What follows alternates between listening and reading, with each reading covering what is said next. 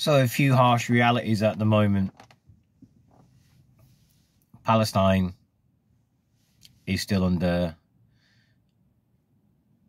horrendous condition. Genocide is happening. The ICJ, International Courts of Justice, is taking its time. You have Africa and an Irish lawyer defending, an Irish lawyer defending another nation the British are sat quiet, the Americans are sat quiet, the French and the Germans and everybody else. And now they're all eyeing up Yemen because Yemen is preventing munitions and supplies going to Israel. So what are those greedy, greedy bastards going to do? The UK government, which you fuckers voted in, because I didn't, and the Americans, what they're going to do? They're going to attack Yemen. Why are they going to attack Yemen? Because, hey, we can't have those gas reserves off the coast of Gaza not being used. We have to carry on with that ethnic cleansing and wipe them bastards out because we want that and we want it and we need it. And we, the tax paying public, are paying for their genocide. And now our tax money is going towards to wipe out and destroy the Yemeni people because they're the only ones standing up going, no, you can't come into our waters. You can't do that. Fuck off. It used to be called a blockade back in the day. It's not called a blockade anymore because it's the Jews, isn't it?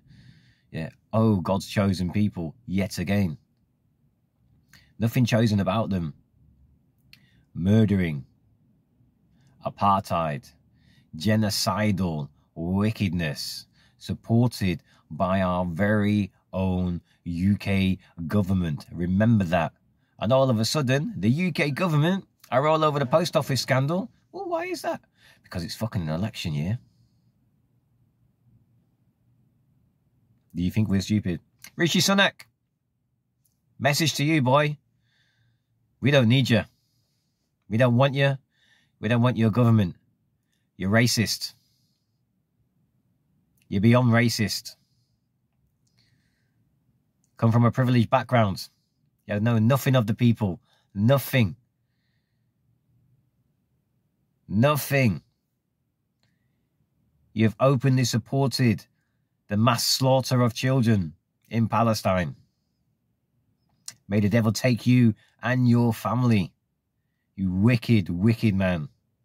And your cabinet, your government, I hope they all suffer in hell, man.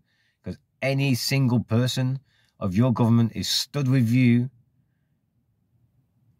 and tick that box to allow the genocide to keep on happening and have supplied munitions and weapons to the Zionist state of Israel, they deserve everything that's coming.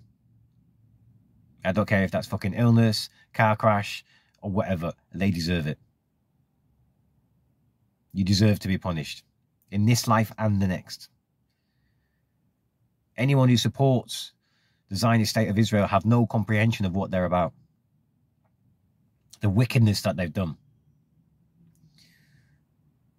They have no comprehension. The manipulation and the deceiving that they have caused.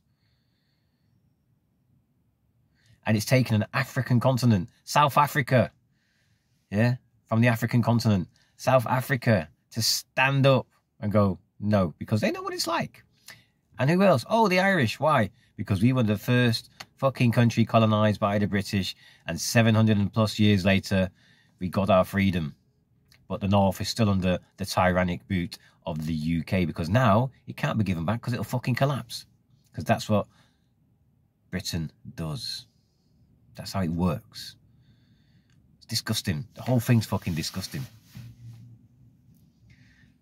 I don't understand, right?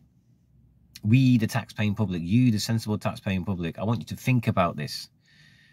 Millions and millions per day going over for munitions and aid to the Zionist state. Think about this, right? Not including the Ukraine. Then six million plus a day being spent on accommodation for illegal migrants, illegal immigrants, illegal, not coming through the correct channels, right? Not follow the procedures. And yet, here in the United Kingdom, we have massive homelessness, degradation, NHS is on the point of fucking surrender, okay? Can't get a GP appointment because they can't be asked. Policing is at its worst ever in the history of the UK as being beyond ineffective, incapable, which is embarrassing, okay? And we are paying for that. So we pay our national insurance, okay? And we pay our taxes. And then we have to pay council tax. We're being hit twice for services we do not get. And yet, you know, we are the first to give out aid and humanitarian aid. And I want you to think about this because I did a video not so long ago where I was literally stating, I was stating the fact of, you know, the UK public who who are supporting the Zionist state of Israel and are watching the genocide of children. And oh, we must give them aid, humanitarian aid. Who's it going to fucking go to? Who's it going to? Because most of them are dead now. Look at your own kids. Look at your own kids when you're taking them to school this morning or when they come home from school. Look at them. Imagine if they didn't make it to 10 years old, 11 years old, 12 years old, 14 years old. You'd be fucking devastated, wouldn't you?